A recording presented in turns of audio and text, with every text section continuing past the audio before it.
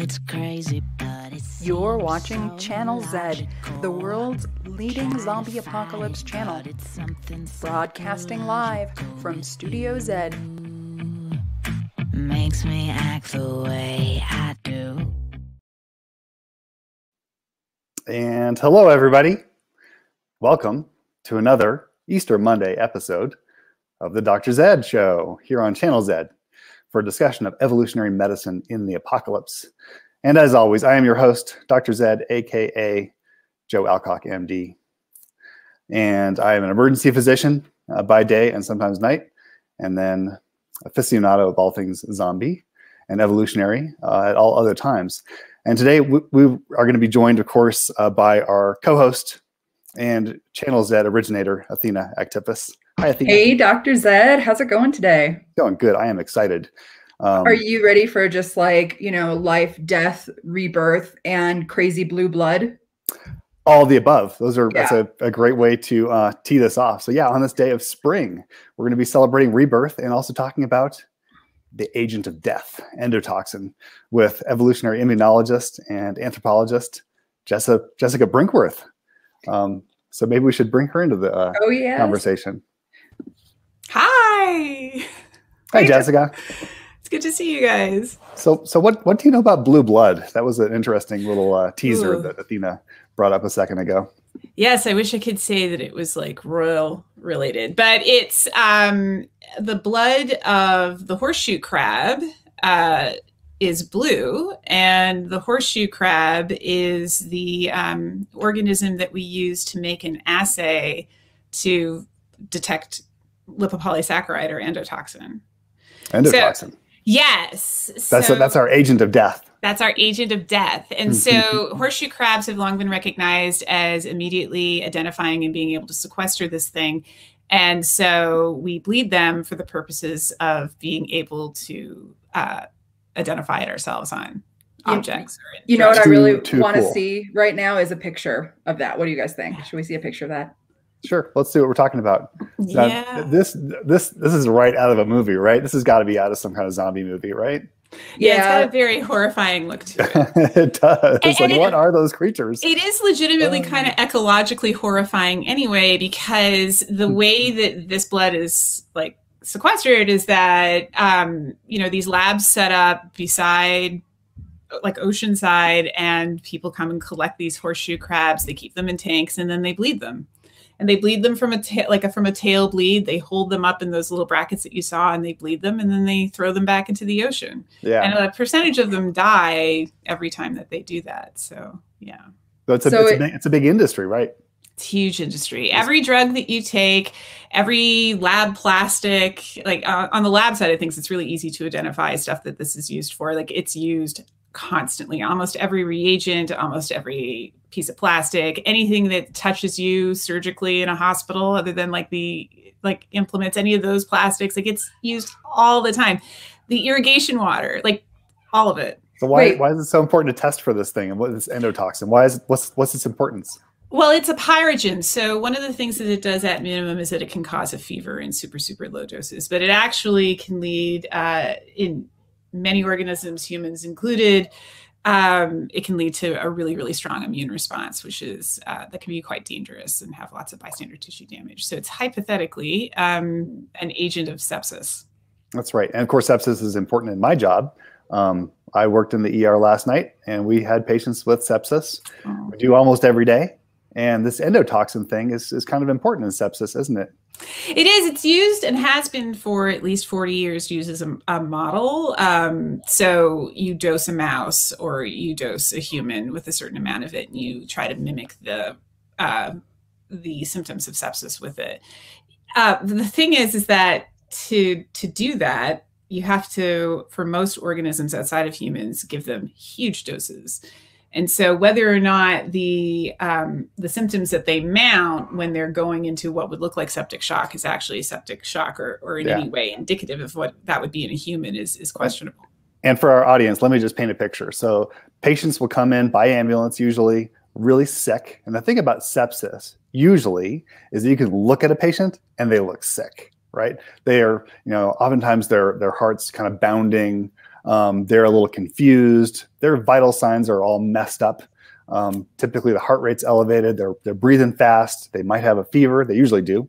Um, if they don't, that's actually a problem. And their blood pressure um, usually after a while will go down. Uh, so they're they're hypotensive. And yeah, we can get the doorway diagnosis. You're like, ooh, that patient's sick. The nurse will come to me and say, hey, Dr. Zed, Dr. Alcock, go see that patient. They look they look sick. Um, and it turns out this endotoxin is one of the things that can um, that we thought was actually the cause of sepsis. If you, th- if you think something's the cause of sepsis, then you might think it's good to get rid of it. But we'll we'll we'll touch on that a little bit later.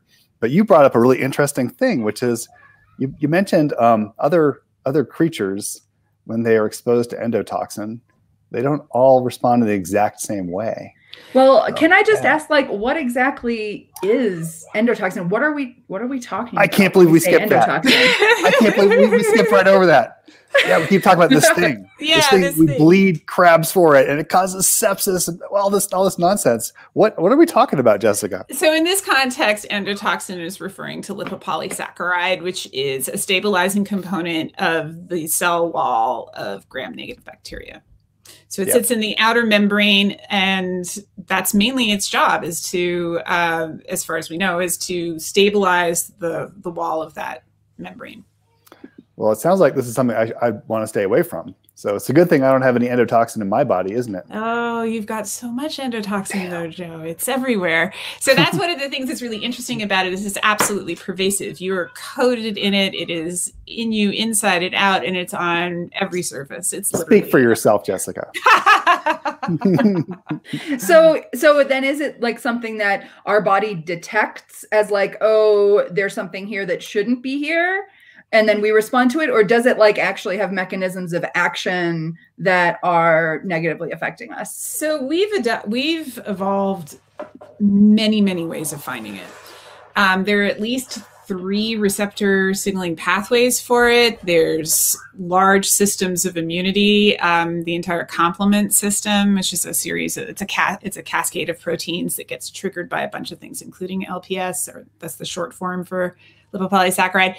Um, and then on top of that, there's a bunch of other enzymes that are engaged in just dis- disassembling it. So there's lots of stuff that we've adapt uh, that we've evolved to um, to find it. That's how important it is. But it, it may have other effects. So to be clear, like there aren't there are some organisms that for some reason can't see it, but it's pretty these adaptations are pretty ancient like plants have them slime mold has them we have them so it's like across kingdoms of life there are lots of organisms that can see it So um, what Car- Carla wants to know if it is a weapon or not. Like, is it just something that's there and we're responding to it, or is it actually doing damage to us? Well, this is controversial, right? I think if you poll most doctors in the hospital or in the intensive care unit, they're going to say, "Oh, this is a weapon. This Oh, is yeah. something that the the microbe is using to hurt us." Right? That's what they think. But what do you think? I oh so I think it's useful for gram negative bacteria to have it because it stabilizes the cell wall. Uh, it's actually, and if you look at the guys that are on you all of the time, they tend to have a version of endotoxin that's ex, um, hexaacylated. So it has like six chemical chains on one end of it called acyl chains. And that happens to be the version that we can see most strongly. But the reason why that's beneficial, having those six chains, is because it makes for a much, much stronger cell wall. So it, it's um, something in which we're like in an arms race with to a certain extent. And then on top of that, we may also co-opt it for use. So so rolling back to um, to whether or not it's bad, uh, you can take two to four nanograms per kilogram before you might mount a response to it. So for So like, every how much how much is that? well, I don't know how much you weigh, so, but a, a, but a sixty but a sixty kilogram person could take about hundred and eighty nanograms. This is a pretty small amount, but 180 nanograms of this before they would start to mount a fever or show any symptoms of having been exposed Okay. to it. Um, that's not the That's case. in, that's in your blood. That's it. Yeah, right? that's you have way direct more. injection. You have way more than that in your colon because this is Oh, part yeah. of E. coli, right? So you have, Yeah, tons yeah. of this stuff. So when you're talking about these amounts, you're talking about if we were to inject it into your bloodstream. direct. Yeah, if you were to infuse it or inject it. Yeah. And I'll, I'll interrupt just for one second to say that um, there was a I think it was a 1986 New England Journal paper, and it was by it was about a lab technician who I think it was a woman who tried to kill herself, and she had purified endotoxin um, from salmonella, and she injected it into her body, and it didn't actually have any live bacteria in it whatsoever. And this is how we learned that endotoxin can cause sepsis. It causes all the symptoms of sepsis without any live bacteria. And it was a pretty remarkable thing. It set off a 30 to 40 year old uh, project of trying to block endotoxin medically. And this is what we've done for decades since. And even fairly recently, there was a big trial. And again, most doctors think that if we block this, we can block sepsis, and that's a good thing. But it turns out that all those trials and we're talking dozens and maybe about 10 very major ones published in things like the New England Journal. All these trials have failed to make people better. And so mm-hmm. that makes us think that well gosh maybe maybe it isn't really a weapon maybe it's something that alerts our immune system to badness and that yeah. really it's acting more like a hormone. I think you mentioned something about that, Jessica. Yeah, there's a there's a possibility that we co-opt it as well. So first off, it does mm-hmm. alert us to badness. So the the the adaptations in bacteria that would allow it to have like this hexaacylated conformation this is something that is beneficial to us because we've adapted to see it. And so we can, and therefore we can eliminate it. And if you inject someone with LPS in these low doses, they'll get rid of it in about 30 minutes. We have such a robust, like undetectable, cannot find it anymore. Um, we have such a robust system in place to sequester it and get rid of it. It's it's usually gone right away if it's in in blood in any case, yeah. which is one of the places where it's dangerous. But in the gut, uh, there's an indication that at least gram negative bacteria that's in the gut, which is coated with this stuff, it ha- it may have a protective effect against um, certain types of poisoning or mm. other kinds of toxins that are being yeah, released by their isn't it? Yeah. And yeah. Carlo Maley brings up a good point that the fact that we call it a toxin implies that it's a poison but um, it hurts us maybe only because our immune systems are so sensitive to it, so primed to react really strongly to it. And they, it does, doesn't it? Yeah, it does. I think the other thing that's worth thinking about is that we may be super sensitive to it because it actually benefits us to be super sensitive, super sensitive to idea. it. It's a weird thing, a weird way of thinking, but like there's a thing that certain types of immune cells will do where they can become tolerant to it and uh, and that what that means is that you can give them a little dose of LPS, and then their responses to a subsequent much like huge pathologically high dose will be super blunted. They won't do very much. Um, and this is you know this is a well-known phenomenon. It's been explored for 80 or 90 years, and um, the I guess no, it's more 60 years, but um a long time. A long time. We've we've known yeah. about this for a long time. But one of the things that's really interesting about this is that it's all all of that is premised on the ability to detect it. So if that blunting effect is is beneficial, which is the way that we think about it, if you get an infection, the fact that you can induce tolerance in these white blood cells means that you might not end up with as much bystander tissue damage the bigger this infection gets then um, being extra sensitive to it might allow you to m- mount this tolerant effect faster sooner so there's yeah. other ways of thinking about it other than it being like just purely increased sensitivity right. to it as being bad or it itself as being is necessarily bad. And to that point that that Carlo Maley's suggesting that you know we we think of this as being a poison and it, it certainly can be. If you inject a bunch of this stuff in your body, it will kill you. Um, but it doesn't mean that it's always bad and that here's this kind of crazy co-evolutionary process that we've undergone uh, along with our microbial house guests. Uh, it's important for us to know what they're doing, and we have to detect them. We have things called toll-like receptors that allow us to do that. Um, and then, yeah, uh, medical pharmaceutical companies have tried to block those receptors. And you think, oh, this is good if you block the, the interaction of the poison with the receptor that causes all the badness. But it turns out that when you do that, it doesn't necessarily make you better. I mean, it's kind of a silly notion if you think about it in the grander scheme of things. It's been around for billions of years. There are other yeah. organisms much older than us that have adapted to it. So why would you assume there's just one pathway? And that was the case until like 2012. Mm-hmm. We're like right up into 2012, we assumed there was just one pathway for blocking it. And that's one of the reasons I think also that those those trials failed. Right. Sorry, Should- go ahead. Should we look at that, the sort of cross species angle on this? Jessica, do you want to say a little bit about this? I'll pull up the We picture. should, yeah, we Oh, should yeah. mention, and the reason why you know we have Jessica to lead us through this conversation is that she and um, a uh, colleague, Yeah, my graduate student, Negin Negin? Valizadegan. um, Yeah. so they wrote this paper entitled "Sepsis and the Evolution of Human Increased Sensitivity to Lipopolysaccharide, aka endotoxin." This is the love Um, letter to endotoxin.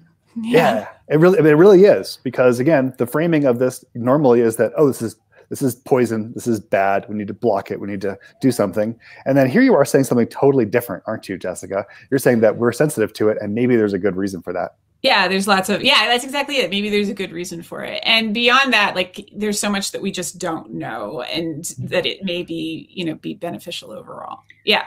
So, Jessica, what are we looking at on this? Oh, in um, this this picture? figure Okay. here? So I can take no credit for the actual drawings and stuff that are in here. So Negin composed this, but what we're looking at um, from left to right is uh sort of an evolutionary tree of a bunch of organisms for which we have information on how sensitive they are to injections of lipopolysaccharide.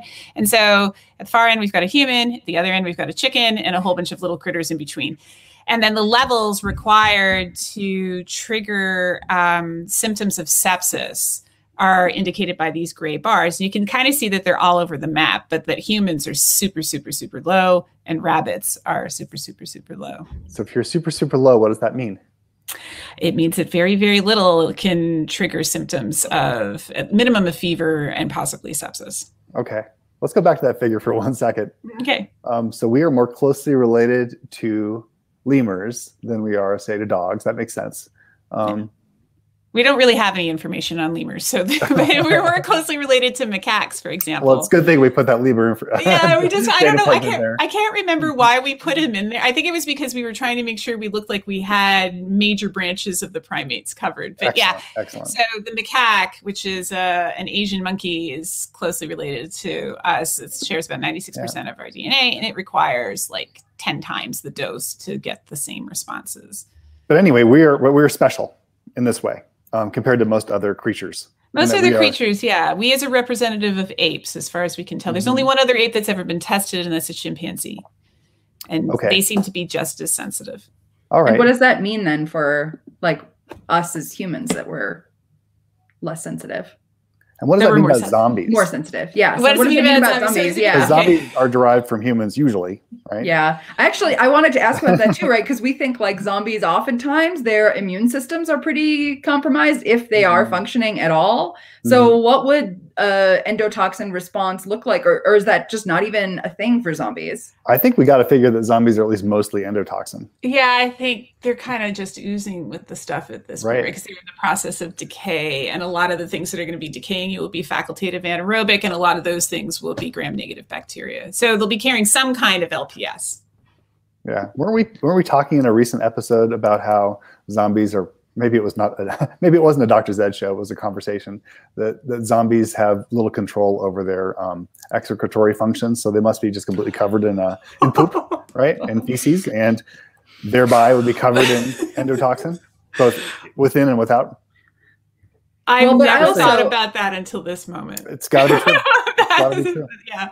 I also want to know though what this means for like zombie, you know, health and medicine, right? Like are uh, like what kind of response are they having to the endotoxin that is all over them or not? Like, you know, is this an issue? Like Dr. Zed, like if you were to have to take care of a a zombie, um, you know, what, what how would you deal differently with the issues with endotoxin? Right. Well, I think you know my my reading of uh, Jessica's paper is that you know it is a love letter to endotoxin, but it's really a love letter to our immune system. Right. We have this amazing immune system that does all kinds of, of terrific things and keeps us safe. Usually, it can go go awry and cause problems, um, but we have this incredible way of detecting um, microbes and responding usually in ways that keep us safe. Um, zombies are going to lack that, right? They're not going to have the capacity to mount any kind of defense against microorganisms, and so they are thoroughly hijacked, right? So that's the whole idea behind sort of the biological, um, you know, concept of zombification by other organisms. So they, in a way, they don't have an immune system, or their immune system has been completely co co um, opted by these microbes. That's my take, but you guys might have a different take on it.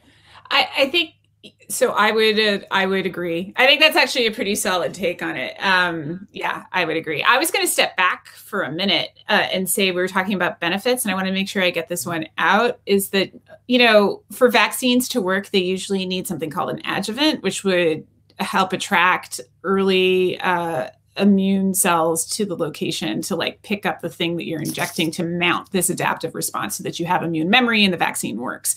And that has often been LPS. So there's other ones that are that are uh, chemically made now, but a lot of the early vaccines use lipopolysaccharide as a as a way of doing this. So we use it like on purpose for our own benefit. Um, because so, it puts the immune system on high alert. Yeah, it brings. That's a big- good thing for a vaccine. I mean, very we- good thing. again, there should be no endotoxin in, say, the COVID nineteen vaccines. No, there's none. that's not. Yeah, that's really interesting. That I to my I've read through all of them. To my knowledge, none of them have an adjuvant of any kind engaged. Yeah, well, it's because So- that spike protein is enough of a. yeah. So that's it causes such a crazy reaction. You don't need endotoxin to make it even worse. enough of a message that something is going wrong. so, well, in the case of how the immune system interprets it, right? You get the Yeah. vaccine, that's a good thing. So, yeah. And Athena is muted, but I'm gonna read. I'm gonna read this. Um, Yeah, I'm back, but I, I just wanted back. to pull this up because I think it's a great question. It is a great question. Um, of course, I have some ideas about this, and the question is from Carlo Maley. If interfering with endotoxin doesn't work with for sepsis, that's been shown by these massive clinical trials. What option do we have to prevent sepsis from killing people? Um, I have some ideas, but I'm curious what, to know what you think. So I have a bunch of different ideas about this. So the first thing I think that's really uh, misleading about LPS as a cause of sepsis is that bacteria does cause a lot of sepsis cases. Most things that will, you know, cause sepsis tend to live on you. And most of those things that we are able to identify in any case, and we are unable to identify over 40% of of cases go without us being able to identify a causative pathogen. So that's Hmm. something to keep in mind in the first place. There's a bunch of unknowns, but for most of those, it's usually a gram negative or a gram positive bacteria. So things, either things with LPS or things with no LPS. But flu can cause it. And if you go to different places in the world, different things cause it. So malaria is a leading cause of it in sub-Saharan Africa. It, it depends on where you go. There's fungi, you know, there's lots of different things that can cause it. So just targeting LPS is saying, okay, well, maybe I'll take 50% of what I can identify and say that this is the thing I'm going to try to block.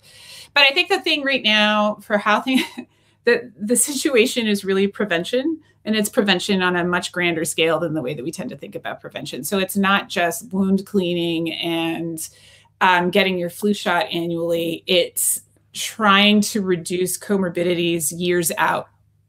It, it, we- it- sorry. Yeah, can we talk for a second about wound cleaning?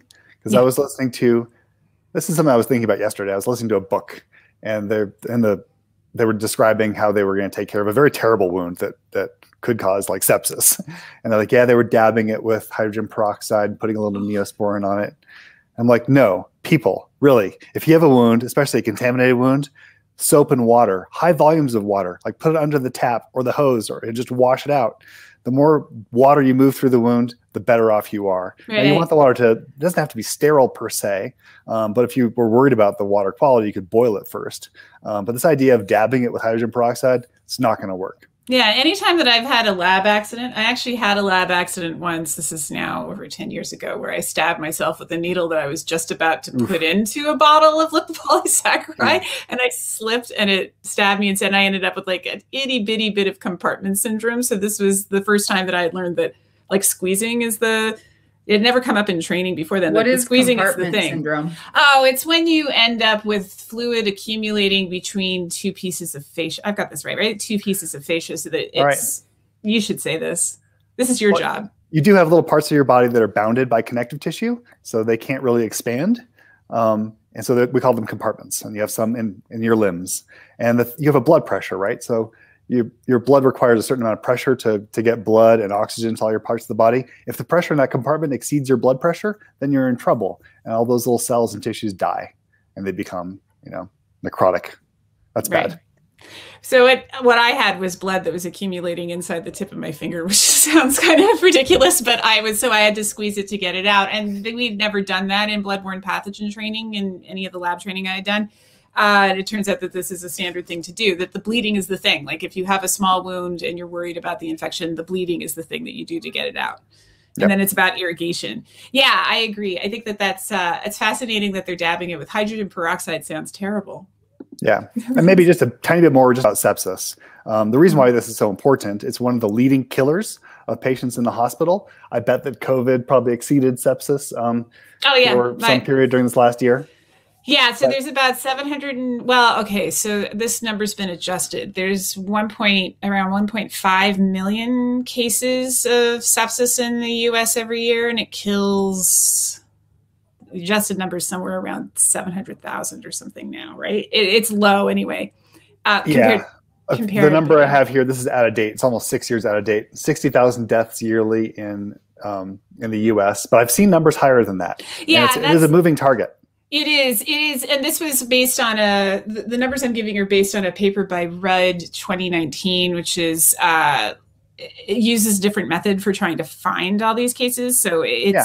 possible that it's off too, but, um, and it hasn't been replicated. So there's, there's that, but yeah, there's quite a few cases and there are quite a few deaths. And we right now are well over half a million COVID deaths, All right, so I don't think we ever alone. We ever meant an- answered Carlo's question, which is how do we treat it if we if we shouldn't necessarily Oh. just focus on endotoxin. I did. I just said you? you? have to spend decades in prevention. yeah, right. it's decades in prevention, right? In terms of what they do in the hospital, you would be a much better person to say this. I would say the best you can offer is support. Right? Yeah, I mean, So we Uh, have a few right. questions from the audience here too, just to make sure. You know, Liz was pointing out that we need bloodborne pathogen training, and Pam wants to know: should you actually squeeze a wound if you think that you might have an infection? Just make sure that we get the sort of you know zombie apocalypse prep um, information all straight here. Okay, if you're suppose you're um, bitten by a rabid bat, all right, you're in big trouble and you need to get um, you know the anti-rabies um, anti-venom immediately. Uh, but that's a situation in which actually if you were if you had a wound on a finger, squeezing it out might be might make sense. The same is probably true for certain kinds of snake bites, um, but in general, um, we don't recommend that um, for for the vast majority of wounds squeezing, et cetera, is not part of the. You're just gonna you're gonna worsen the tissue damage and make things worse. But there will be some some very limited cases in which that's a good idea. Yeah, my only reason for ever having done this is because I cut myself on something in the lab, which has happened um, a few times, though Mhm. not in the Yeah. last like 10 years. Yeah. All right. So now um, Carlo's asking what to prevent sepsis deaths if uh, you know interfering with endotoxin is not really an option. I mean, if you know what the causative organism is, and Jessica, you mentioned that sometimes we don't, um, then giving somebody the, an antibiotic that's going to cover that microbe can be curative, and doing it in a timely fashion makes a, a lot of sense. Um, I think you know it's a complicated thing. This is a this is a nut that we've not cracked. We've not figured out how to treat sepsis over the 30 or 40 year period of, of studying it. And most of our interventions have been aimed at, at tamping down the immune system, at making our bodies less reactive um, in ways that have not helped us. But there may be more sophisticated things we can do, um, perhaps inducing tolerance by other other ways, uh, and also just recognizing that endotoxin isn't always bad. Um, the last thing I wanted to bring up is that um, there's work by uh, I think Tom McDade and Chris Kuzawa done in the Philippines showing that um, kids raised in a high endotoxin environment, um, it doesn't necessarily make them sicker. That in some ways they do better with cardiovascular disease later on in life. So it's complicated. This is a very, very complicated thing. And that's the idea. So, but an evolutionary point of view, like what uh, Dr. Brinkworth has been describing, is, is the way to go to understand how this is all working. Does this relate to the hygiene hypothesis? Well, it does. That's that that that finding that I just described to you is part of that hygiene hypothesis. That the idea that our bodies are we're too protected from microbes in some ways, and that can increase our risk for things like um, asthma and, and autoimmune diseases. And in that paper, there was some suggestion that it, that if we're too sequestered from endotoxin early in life, that that can actually maybe cause bad things with regard to heart disease. It's true. There's two sides to it, though, too, right? Like it's about the development Yeah. and, and, and the developmental exposures because LPS is used as an asthma trigger deliberately in experimentation.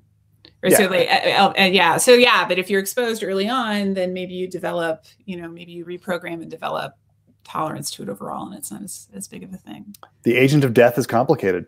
It's very complicated and so amazing. I mean, the overall, just like the the evolution of how we've responded to it, and how um, and how it's potentially changed to like compete with us is just an absolutely beautiful thing. I am absolutely fascinated and in love with this whole phenomenon maybe- between us and it. So maybe we'll have to bring you back for another discussion. We should talk about uh, strategies for health, um, avoiding zombification, Mhm. uh, keeping ourselves from getting sick um, with regard to endotoxin, inflammation, and other stuff, uh, maybe for a later episode. sure thing. Anytime. Jessica, thank you so much for coming Yeah. on. Thanks for having me. A truly enlightening and apocalyptic conversation, as always. Yeah, thanks. Well, great. Well, that was amazing. Dr. Zed, I learned so much about endotoxin from you and Dr. Brinkworth. Well, we could go on all, all day, but we're not going to. So yeah, so this this wraps up another episode of the Dr. Zed Show. Um, thank you for for joining us uh, for this time where we had a, a great conversation with a true expert, um, Jessica Brinkworth, on this topic.